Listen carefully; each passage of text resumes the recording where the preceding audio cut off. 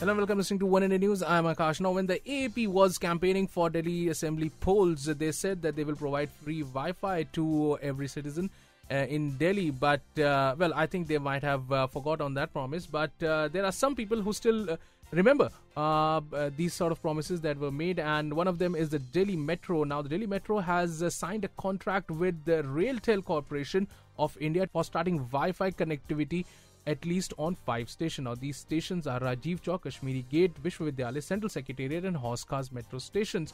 And uh, the memorandum uh, of understanding says that the installation of the equipment and uh, is expected to be completed within the span of seven months. And the necessary uh, survey would be done by Railtel, and they will install the equipment and they will also carry out the maintenance and the installation of the infrastructure. And uh, but uh, it is uh, this Wi-Fi would only be available on the metro station, but not inside the metro. But they, uh, the Metro Delhi, Delhi Metro is uh, in the talks to get this uh, Wi-Fi availability inside the trains also, but that will take time. Now, Delhi uh, may maybe the Delhi government has forgotten on the promises that they have given to the people, but I think it would be a good gesture.